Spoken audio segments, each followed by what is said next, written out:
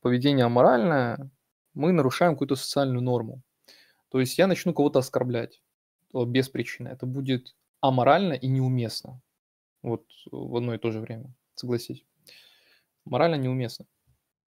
Но если я, допустим, вот я тебе с прохожим приводил пример, а вот, допустим, не знаю, я вот с одногруппником буду, мало знакомым, буду обсуждать, э, да, его сексуальный фетиш. Я подойду и скажу, дружище, ты там, ты там любишь, когда девушки там и что-то там. Вот. Это будет аморальным? Нет. Это будет просто неуместным. Как бы, ну, он такой, типа, да блин, дядь, ну, вообще не здесь, не тут, и вообще лучше не надо сейчас об этом говорить.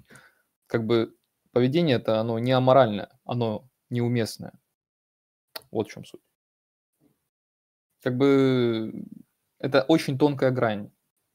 Как бы все то, что аморально, оно неуместно, но не все то, что неуместно, является аморальным. Если ты понял, о чем я. И э, почему ты думаешь, что рассказать, что ты шизофреник и девственник в 38 лет из страны Россия, это неуместно? Я говорю, что это не, не, это я не говорю, что это аморально, я говорю, что это неуместно. Как бы э, я не говорю, мне все равно. Я говорю к тому, что вот что называется в обычном обществе это неуместно. Да, вот просто там, я девственник и шизофреник. Это, это неуместно. Я да, почему ты думаешь, что это неуместно? Потому что ты делишься с а, э, людьми, да, с э, социальной группой или малознакомыми людьми, слишком интимными подробностями о себе. И люди, они, считая это неуместным, они э, просто избегают общения, либо имеют такое предвзятое отношение к тебе. Это ведь логично. Смотри, я тебе банальный пример приведу. Вот э, представим человек, вот он убийца, да, вот человек убийца. Ну, убийца мне скажет, я убийца. Ну, какое у меня от него отношение будет? Ну, конечно, негативное. И вряд ли я с ним буду общаться. А если убийца будет мне говорить, там, со мной рассказывать, что-то обсуждать, там, подружимся, будем там общаться очень долго, там, бла-бла-бла-бла. Вот эта вся история, и потом, ну, он расскажет то, что он убийца. У нас уже повышенный уровень взаимопонимания, вот это все.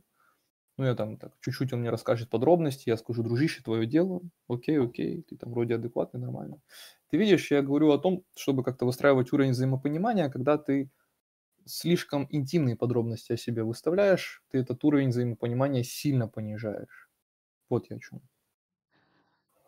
Ну, я предположу, что неправильно сказать, что ты убийца в начале беседы из-за того, что убийца причиняет вред другим людям. А что не так с шизофренией и девственностью?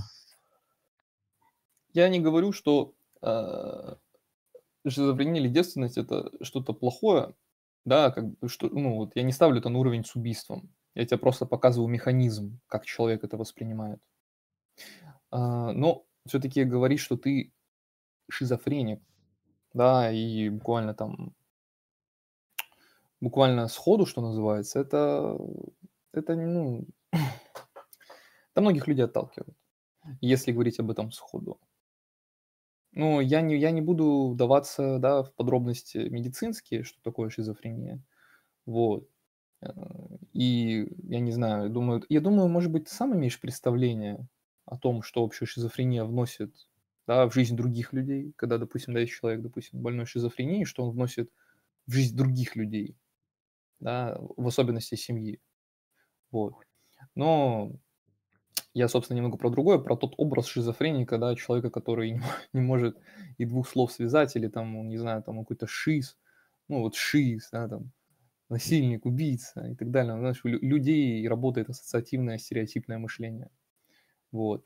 Поэтому, чтобы эти стереотипы не вызывать, как бы подобное лучше не выставлять. Но это опять же таки со стороны общества, как это обычно человек видит. Ты не подумай, что я тут от себя упрекаю. Не, я тебе просто рассказываю, что думает обыватель. Так а почему мне может быть интересен такой человек, который такой думает?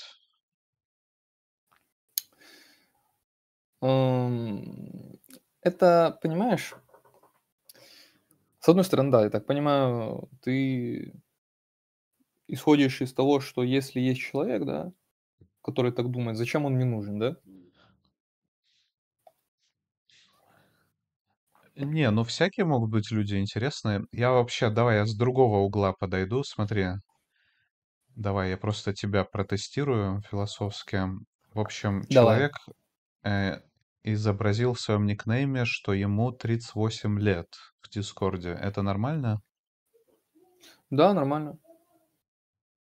Так. А почему шизофреник ненормально? Потому что это слишком интимная характеристика. А кто определяет интимность?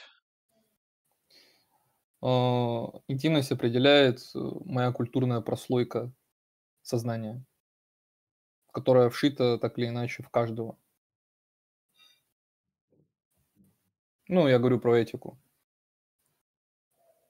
Ну, в общем, твое сознание, да, что-то в твоем сознании определяет, что это слишком интимная подробность. Ну, в общем, это ты определяешь, что это очень слишком интимная подробность. Ну, можно же дополнить. Это ты определяешь, что это слишком интимная подробность для тебя. Нет, я тебя хочу поправить. А, Если, э, да, безусловно, я определяю, но почему я определяю так?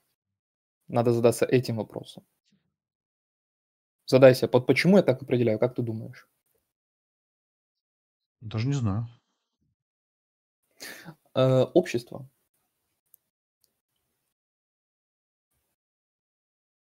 Э, Понимаешь, никакие моральные нормы, вот такие, знаешь, типа там рукопожатие, как там правильно посмотреть в глаза, или как, как правильно что сказать, как правильно встать, выйти, как правильно есть, нигде это особо не прописано черному по белому. Но почему-то большинство людей, они это чувствуют, они знают.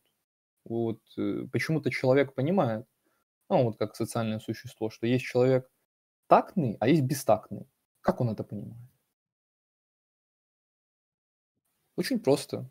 В той среде, да, в той социальной группе, в которой он рос, или в тех социальных группах, э, были такие негласные принятые правила, которые он постигал тоже, так скажем, негласно. Вот. Я тебе покажу вот такой банальный пример. Да, он тоже вычурный, но чтобы вот было понятно. Вот ты, допустим, гуляешь с пацанами на улице в дворе, да, тебе, допустим, лет 7.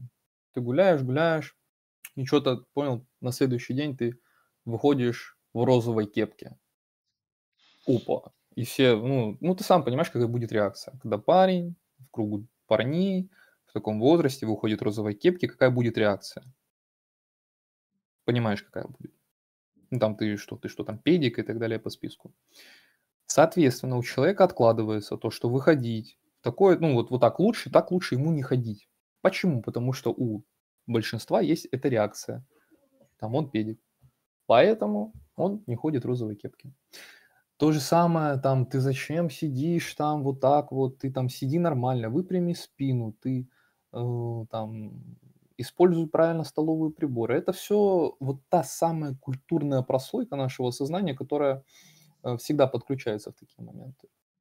И есть такие случаи, когда эта культурная прослойка, она э, идет в разрез с обществом. То есть, когда семья, допустим, она воспитала человека таким образом, что он обществу не подходит. То есть он, он не вливается в это общество.